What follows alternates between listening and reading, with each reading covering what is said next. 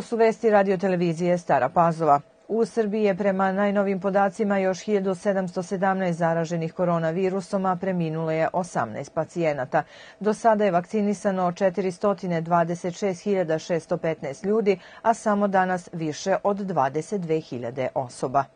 Krizni štab je na današnjoj sednici jednoglasno odlučio da nema popuštanja mera, prenela je članica štaba i ministarka Darija Kisite Pavčević.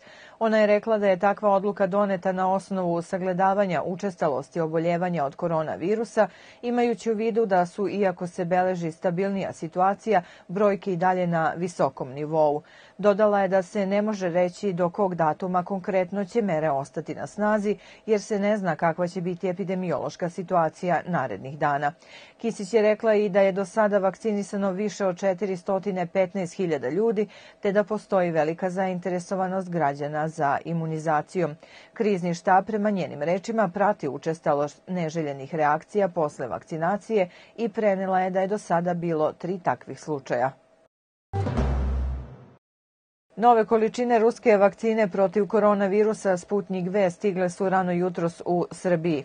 Novih 40.000 doza dopremljeno je jutros oko 6 sati, a na Beogradskom aerodromu Nikola Tesla avion sa vakcinama je dočekao ministar za inovacije Nenad Popović.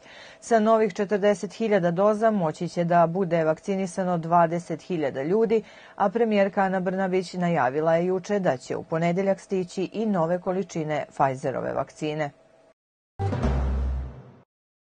Imunizacija protiv koronavirusa u Staropazovačkoj opštini protiče po planu i prioritetnim grupama koje je ustanovio Institut za javno zdravlje Batut. Prethodnih dana na dnevnom nivou Sinopharm vakcinu je primilo i do 200 sugrađana. Prema rečima direktorke Staropazovačkog doma zdravlja doktorke Snežane Tabaković, juče je u COVID ambulanti pregledano oko 90 pacijenata, od kojih je 60 odsto bilo kontrolnih pregleda. Kod 47 pacijenata su urađeni brzi antigen antigenski testovi, a samo šest je bilo pozitivno. Iako je primetan pad broja obolelih, još uvek se ne treba opuštati, već biti dosledni i pridržavati se svih preventivnih mera, naglasila je doktorka Tabaković. Sistem e-uprave upućuje sve građane Staropazovačke opštine na vakcinaciju u Dom zdravlja u Staroj Pazovi, a ukoliko se ukaže potreba za otvaranjem COVID punktova u Novoj Pazovi i Starim Banovcima, Dom zdravlja je spreman da vrši imunizaciju i u tim naseljima. Prijavljivanje za vakcinaciju moguće je telefonom preko pozivnog centra na broj 0800 222 334 ili putem portala e-uprave. Vakcinu kineskog proizvođača danas je primio i predsednik opštine Stara Pazova Đorđe Radinović. Ministar financija Siniša Mali rekao je danas za RTS da će se prijavljivanje za novi paket pomoći građanima početi u aprilu, kao i da celokupni paket pomoći građanima i privredi iznosi oko 235 milijardi dinara, a ukoliko u njega budu uključena i velika preduzeća, da će dostići vrednost od 250 milijardi dinara. Mali je naglasio da što se tiče pomoći za sve punoletne građane, prvih 30 evra sledi u maju, drugih 30 evra u novembru dok će penzioneri dobiti dodatnih 50 evra u septembru. Kukuruz i pšenica su krajem nedelje dostigli cene od 22, odnosno 24,5 dinara po kilogramu, što su cene koji su poslednji put zabeležili 2013. godine, saopštila je danas produktna berza. U nedeljnom izveštaju navodi se da je kukuruz sa prometovanih 3375 tona ove nedelje količinski bio najdominantnija kultura u trgovanju. Institut za transfuziju krvi Vojvodine i opštinski crveni krst pozivaju sve zdrave osobe da se uključe u redovne akcije dobrovoljnog davalaštva krvi i tako doprinesu stabilnim zalihama krvi.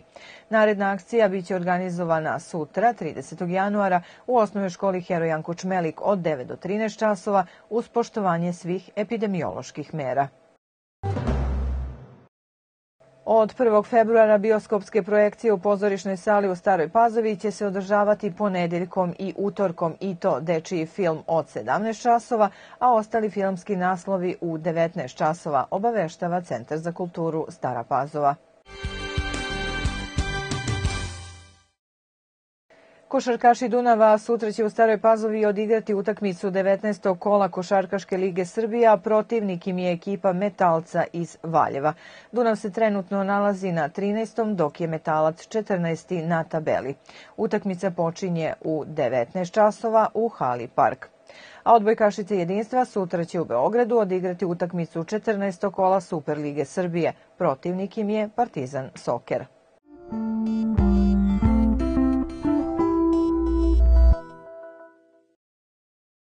Ujutru na jugu i istoku Srbije oblačno s kišom i snegom, a u ostalim krajevima razvedravanje. U toku dana pretežno sunčano i relativno toplo. Vetar slab i umeren na istoku Srbije povremeno jak, severozapadni, do kraja dana ponovo u skretanju na jugozapadni, na planinama u pojačanju. Najniža temperatura od 1 do 6, a maksimalna dnevna od 10 do 17 stepeni. Bile su ovo vesti za 29. januar. Hvala vam na pažnji.